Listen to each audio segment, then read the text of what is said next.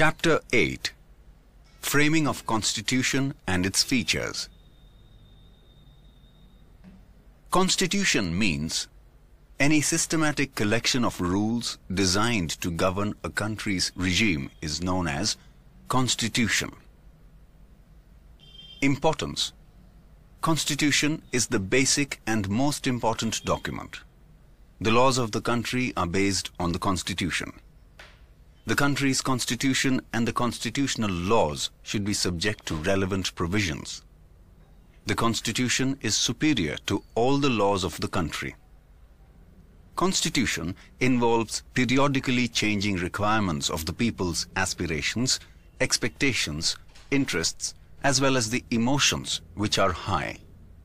That's the reason Constitution is known as a live and a basic document.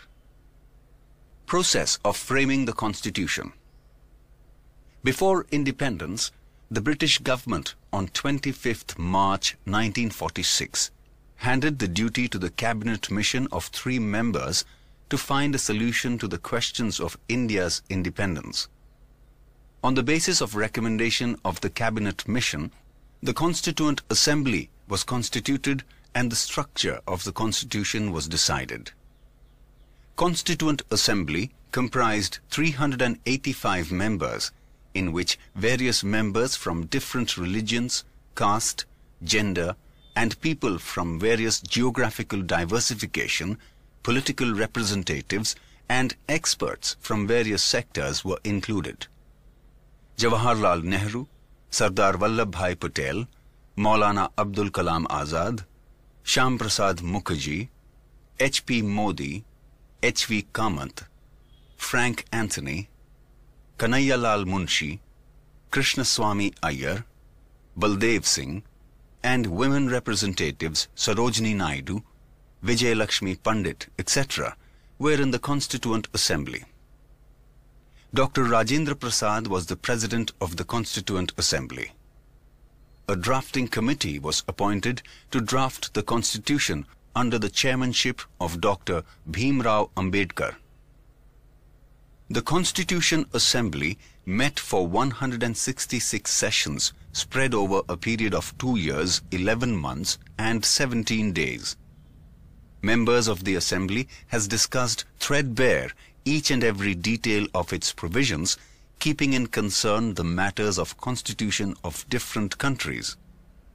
In this constitution, there are 295 articles and 8 appendices after amendments with 395 articles and 9 appendices. The constitution was framed.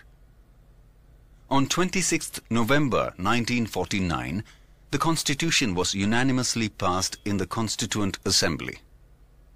On 26th January 1950, Constitution of India came into existence and India was declared a republic nation. Thereafter, every year on 26th January, we celebrate Republic Day with national fervor. In the Indian Constitution, we have four lions as national emblem and national slogan Satyamev Jayate, truth will always win. The Constitution provides for citizenship, rights and duties of the people, directive principles of the state policy, union-state relations, elections and emergency provisions. Thus, the Constitution of India is the most detailed and elaborated national document. What is preamble? Preamble is the core and important part of Constitution. Indian Constitution begins with preamble. The words written in the preamble highlights the soul of the Constitution. Preamble We, the people of India, having solemnly resolved to constitute India into a sovereign socialist secular democratic republic and to secure to all its citizens justice, social, economic and political, liberty of thought, expression, belief, faith and worship, equality of status and of opportunity, and to promote among them all fraternity assuring the dignity of the individual, and the unity and integrity of the nation. In our Constituent Assembly, this 26th day of November 1949, do hereby adopt, enact, and give to ourselves this Constitution. The preamble remained unchanged till 1976. In 1976, the words socialist, secular, unity, and integrity of the nation were added. The preamble verbalized the fundamental objectives of the Constitution, aims, ideas, and principles. Therefore, the preamble straightaway gives a clear insight of the rule of welfare. The preamble reflects Constitution framers' psyche. Importance of preamble. The preamble, as a soul of the Constitution, is also an important necessity. To understand the framing of any law or its interpretation, preamble gives proper guidance. To understand the policy behind the framing of any law, preamble plays an important role. The preamble is a useful tool to avoid the trouble in the interpretation of the Constitution. When any ambiguity or obscure details in law arises, preamble helps in understanding and interpreting the law. Thus, preamble serves as a compass to understand the provisions of constitutional law. Preamble is nation's unity, integrity, and is the standard crust of brotherhood among citizens who are having noble sentiments and ideals. Preamble is backed by high ideals and goals. Pillars of the Preamble the words inscribed in the preamble are We, the people of India, sovereign, socialist, secular, democratic, republic, justice, liberty, fraternity, and equality. Here, we will study the following three main pillars of the preamble. Democracy the ultimate sovereignty of power is with the people, according to Indian constitution. There is no particular regime of any particular person. Instead, it is with the people. Democracy, the word is derived from Greek word demos, means people, and kratia means power. Country's power is not within a group of people. Instead, it is within the people of the country. Democratic state administration is such an arrangement in which there is equal justice for people to social, economical, and political, and having equal rights of participation. In democratic India, people elect their leaders through their choice by casting vote to represent those leaders in the parliament, and thereafter assuming the post of prime minister and his or her cabinet. Executives do not have absolute power. They are given specific time limit. Similarly, the voters elect state and local level government. Hence, democracy means by the people, for the people, and of the people. Cabinet consists members of parliament. Cabinet of ministers is responsible to the parliament. Any citizen of India who possess required constitutional eligibility can contest the election. Ministerial positions are not acquired hereditarily. Each elected government has five years of tenure. This government works under the principles of constitution and therefore it is known as responsible government. The democratic government is based on liberty, equality, and feeling of fraternity and continuously work to achieve these goals. The Constitution disseminates the power to people to cast their vote according to their free will and thereby instills confidence in the Constitution. The Constitution of Democratic India renders fundamental rights, principles for political directions, parliament, member of assembly, independent and impartial justice, and election commission are those provisions which make our country democratic in every means. Adult suffrage means the citizen above 18 years of age can cast his or her vote to one's choice of leaders without discriminating caste, creed, religion, language, gender, education, and income or birthplace. But it is essential that the citizens are enlisted in the electoral list. Socialistic. In the year 1976, by 42nd Indian Constitution Amendment, Constitution of India added in the 42nd Amendment the word socialist.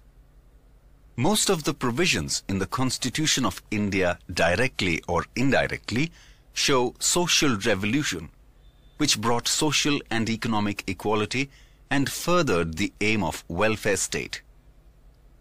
The principle of socialistic pattern directs social, economic and political equality for citizens as given in the preamble. It is now regarded as a prime feature of the state. It reflects the fact that India is committed to secure social, economic and political justice for all its people. India stands for abolishing all forms of exploitation as well as for securing equitable distribution of income, resources and wealth. Any one particular person should not have power over all assets. Instead, everyone should have equal opportunity by getting facilities and provisions from society and thereby eliminating the discrimination of rich and poor. Therefore, we can say that Constitution of India is a socialistic document. Secularism In the year 1976, by 42nd Indian Constitution Amendment, the word secular was inserted. India is a secular country. India can never become one particular religious country as per the provisions of the Constitution. India does not follow any particular religion. So the country never promotes any religious activity. The country cannot involve any secular activity with religious activity. The citizen of the country has a freedom to choose his or her religion. The country cannot discriminate a citizen on religious basis. Equal job opportunities and political rights to the citizens are given without any religious discrimination. In this way, secularism is the basic foundation and mandatory feature of the Constitution. Sarvadharm Samdrishti and Sarvadharm Sambhav are the principles incorporated in the Constitution. So no particular religion would be encouraged in any states. There is no prohibition on any citizen to propagate his or her religious belief, trust and faith. Basic features of the Constitution The Constitution, which came into force on 26th January 1950, is considered as the largest, extensive and detailed written document. Given below is the basic and salient features of it written document. Except Britain and Israel, India, along with other nations of the world, have their constitution in written form. Considering the social, geographical, diversified circumstances and prehistorical notions, the Constituent Assembly has kept the drafted constitution in written form. Size of the Constitution Indian Constitution is divided in 22 sections comprising 395 articles and 8 appendices, now 12.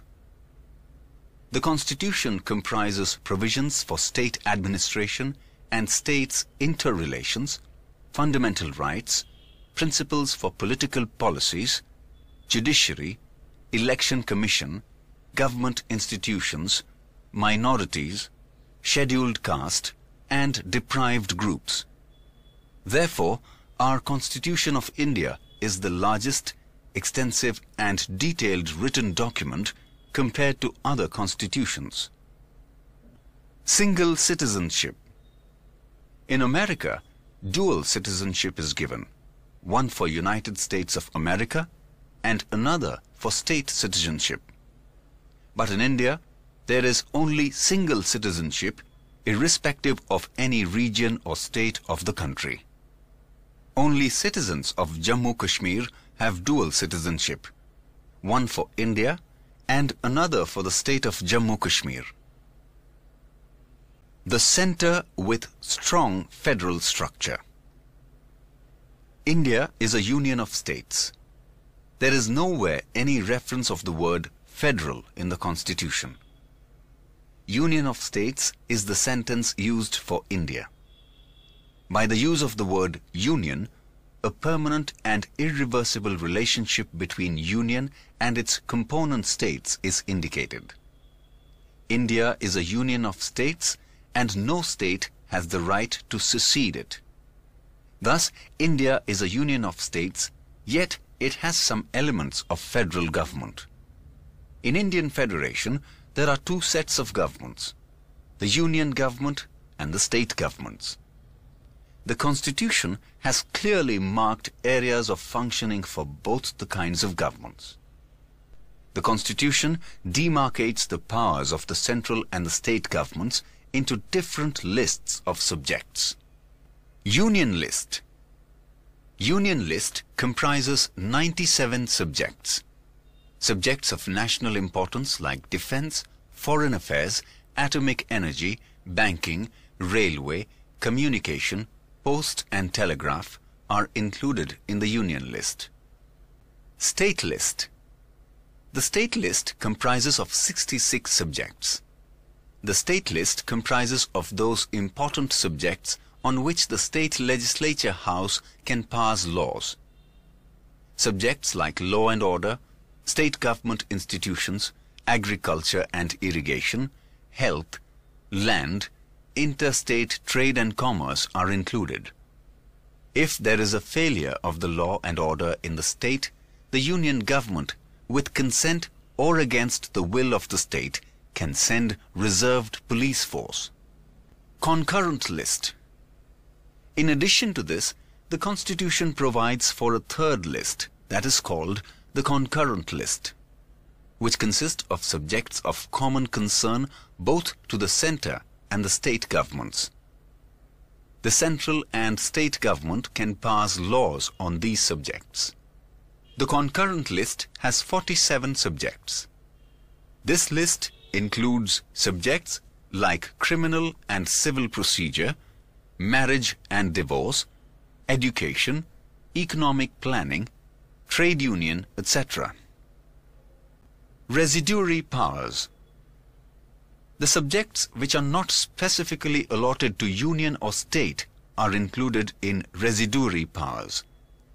Matters that are not included in the division of powers are known as residuary powers. The central government is given the power to legislate on these residuary subjects. The financial distribution of resources is done between union government and state governments. Excise and custom, export-import, income tax, all these major taxes are decided by central government, while sales tax, revenue tax, entertainment tax, educational tax, which are having meager financial resources, are decided by state government.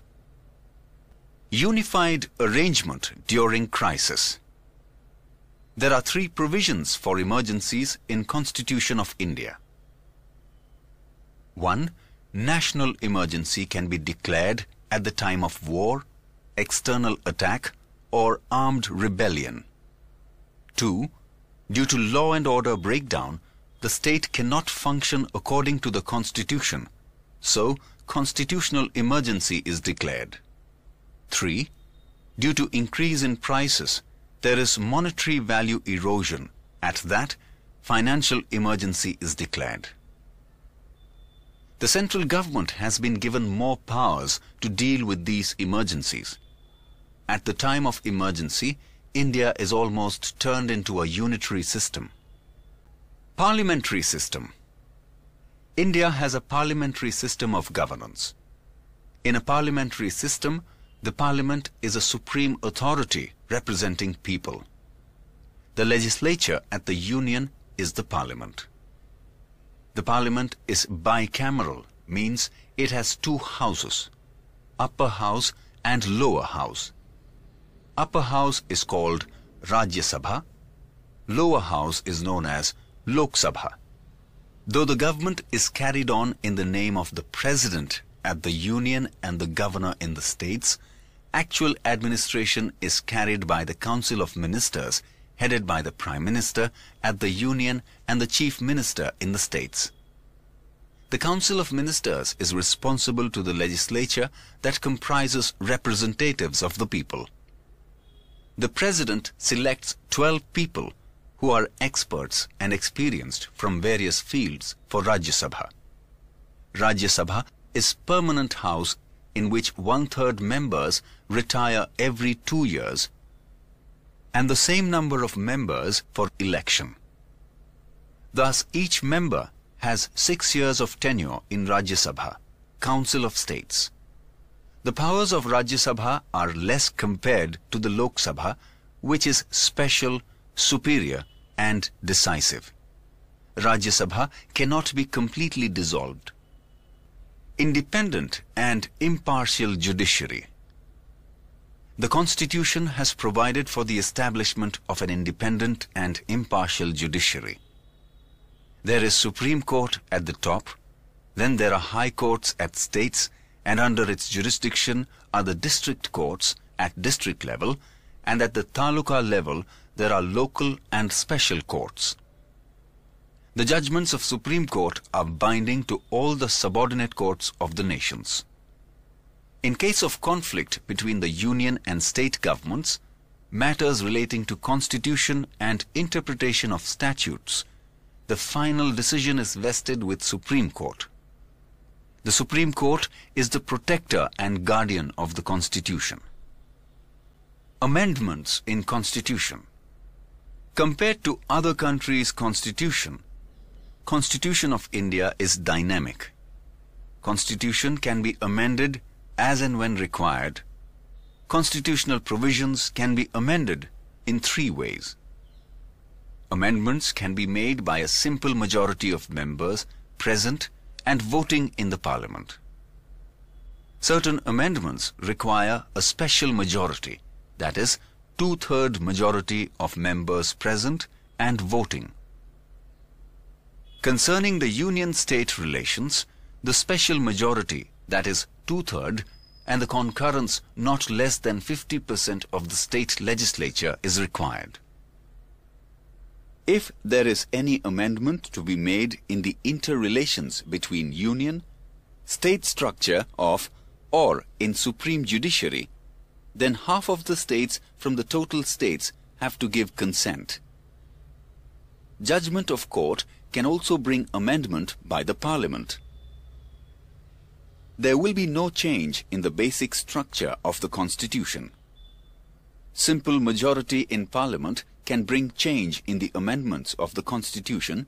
That's why the constitution is known as the most inconstant and flexible document, but at certain cases it is not amendable by simple majority. Without the majority consent of states, it's not amendable. Then too, the mixture of both makes the constitution. Universal adult suffrage. In India, we have a system of adult suffrage which is flexible.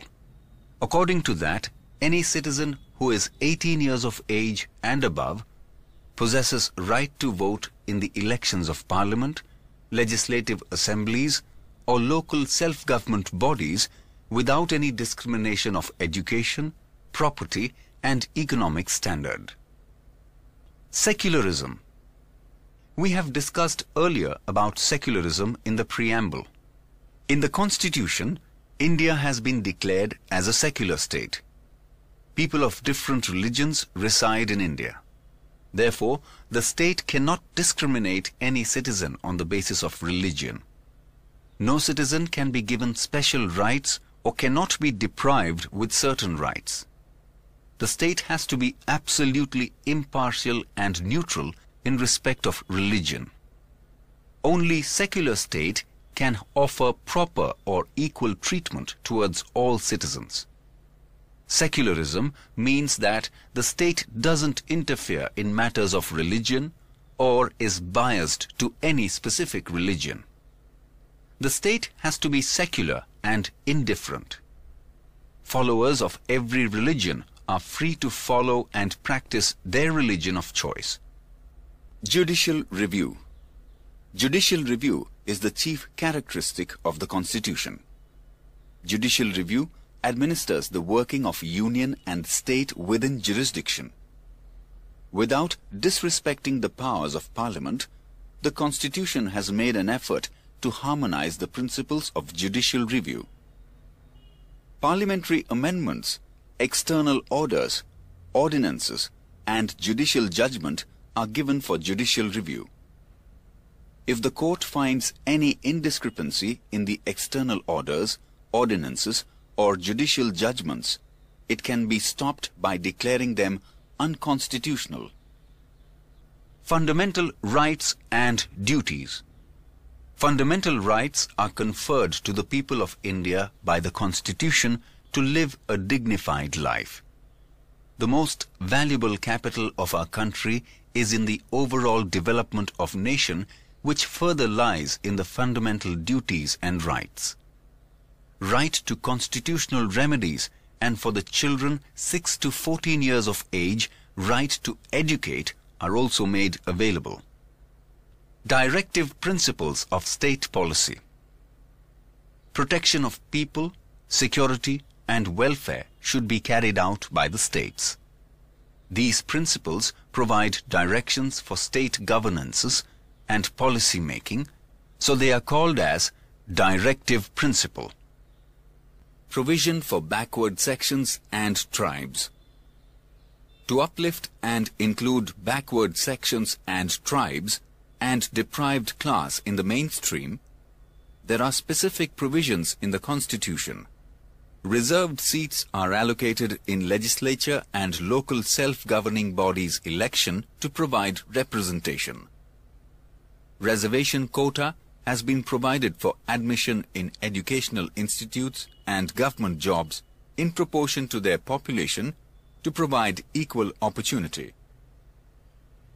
Children of backward sections and tribes are given scholarships, basic amenities, and waived fees, which come under optimistic policies and shielding policies as per provision in the Constitution.